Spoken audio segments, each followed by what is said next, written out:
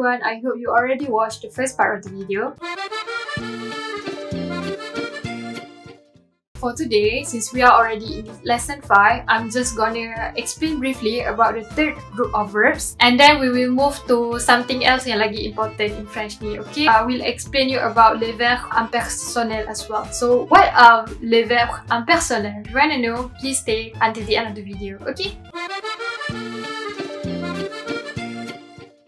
First of all, talking about the third group of verbs in French. The third group of verbs are the verbs yang do not belong to the first group of verb and do not belong to the second group of verb. So macam dia adalah segala verb yang pelik-pelik selain daripada first and second. These are some of the verbs yang sangat-sangat selalu diguna kat dalam French. Kita ada pouvoir, to be able, macam I can do something. Vouloir, I want to want something devoir ataupun to must, to have to. Maksudnya, we need to do something.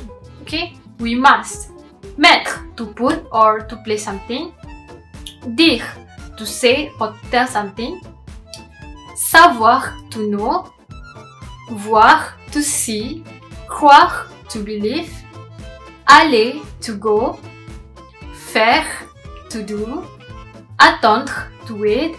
Prendre, to take or catch, comprendre, to understand. Okay? It is so hard for me to explain why they are conjugated like this. Basically, all those verbs that I just mentioned to you, please memorize it and please memorize their conjugation as well. That I give you 10 seconds to see the conjugations of the verbs that I just mentioned. Okay?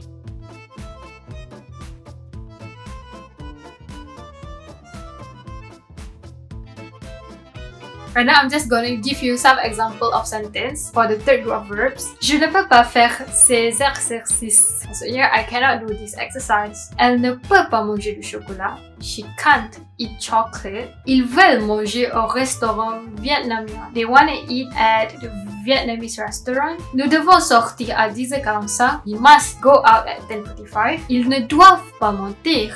They should not lie. Elle met un livre sur la table. I put or I place a book on the table. Je ne dis jamais la mensonge. Means that I never tell lies. Tu me crois jamais. You never believe me. Je ne comprends jamais son cours. I never understand his class. There's one specific verb. It's a very special verb. Falloir, to have to. Falloir, I don't think that dia ada macam direct translation in English. Tapi falloir ni kita guna bila kita nak cakap uh, macam Oh, we need to do this. Il faut faire ça. These are something that really doesn't have any um, apa tu persamaan dengan English. You just need to know that we have the verb falloir in French that doesn't have the similarity with English, okay? Some of the example, il faut faire le devoir. We need to do the homework. Il faut tenir la promesse. We need to keep to our promise. Next, I want to specifically talk about the verb faire. Why? Because faire is commonly used in French because verb faire ni boleh digunakan dalam four different situations. First, it can be to be. Uh, bila kita cakap tentang weather, kita akan cakap il fait beau aujourd'hui. The, the weather is nice today. Ataupun kita cakap il fait froid. Oh, it's so cold today. Okay? Ni pun sama juga. There's no direct translation in English. Kita juga boleh guna verb faire to do for maths. For example, kita cakap un et un font deux. Maksudnya 1 plus 1 makes 2. This plus this form 20. So 10 plus 10 is 20 like that. The second situation is to do sport. As like how you see in the first video, there are a lot of examples related to faire do sport, to do some sport. For example, il fait du cyclisme, main basikal ataupun j'aime faire de la randonnée, dia suka hiking and so on. Next, the third situation is faire plus infinitive. Infinitive is root verbs. Faire plus infinitive bila kita nak buat someone do something. This is so hard to explain. Just this is one of the situation that you need to know. Finally, in French, kita akan guna faire in some idiomatic expression. For example, kita cakap ça ne fait rien. Ça ne fait rien. So, macam, oh, tak ada apa-apa. Macam, benda ni memang tak ada apa-apa. Macam, tak ada apa-apa lagi. Macam itulah.